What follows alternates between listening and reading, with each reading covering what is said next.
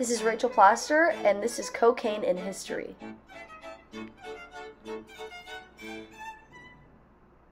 The Incas.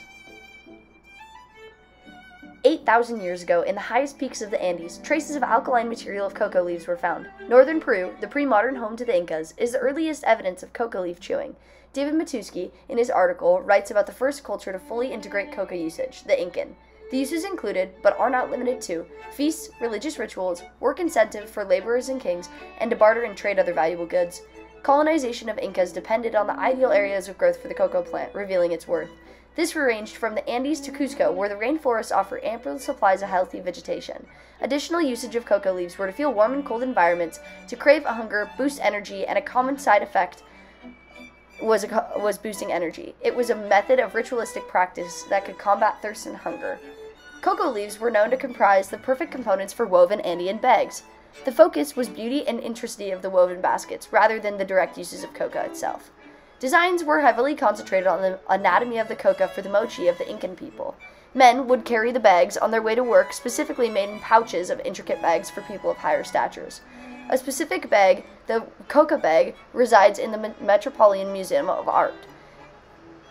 In the voyage of 1499, Italian explorer Amerigo Vespucci wrote letters to comrades and journaled his findings of new cultures.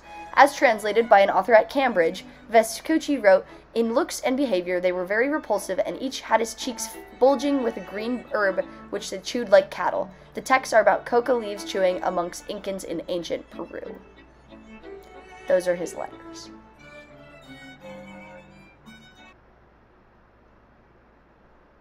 The Spanish Empire.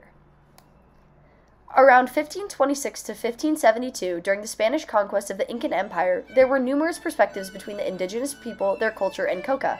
The colonizers had a deeply different initial vision of coca usage than most. As written in The Indigenous Identity and the Coca Leaf, the Spanish conquest prompted new discussions pertaining to the use of coca leaves in religious, economic, and social terms. The Spanish initially wanted to ban the coca usage, but later adopted the plant for several commodities such as silver production and served as a delicacy. They also believed that it was a, an exclusive privilege of the king. Find human remains from northern Chile. This indicates that the Spanish Empire, the ones who initially attempted to eradicate the usage, participated in consumption as well. An additional example of coca usage in the Spanish Empire resolves in the Metropolis Museum of Art in New York. It's known as the coca chewer on a bench. Written in 1533, Hernando Pizarro, the half brother of the Spanish conquistador Francisco Pizarro, devised a letter to the Lord of Santo Domingo about the details of the trip to Peru and the authority to conquer Peru. He wrote about Francisco's men secretly chewing coca leaves themselves, even though eradication was supposed to be taking place.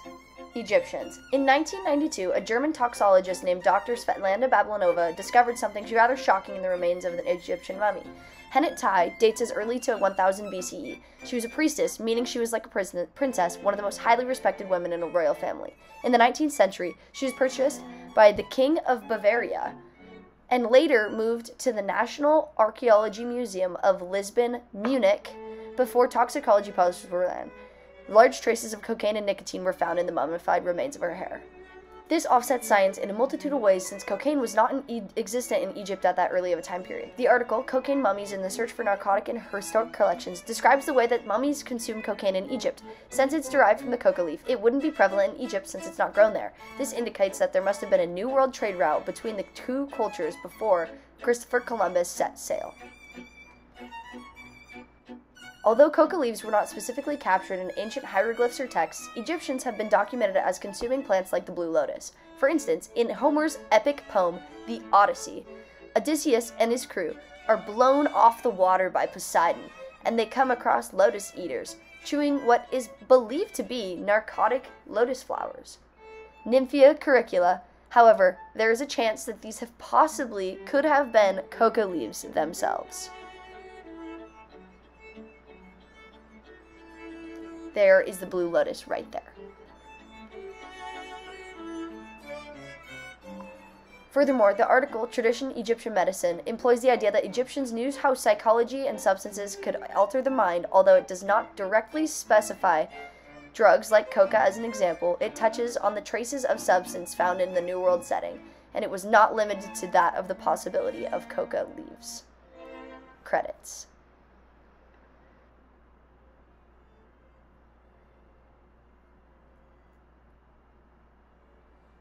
And here are the ancient texts I used. Thank you.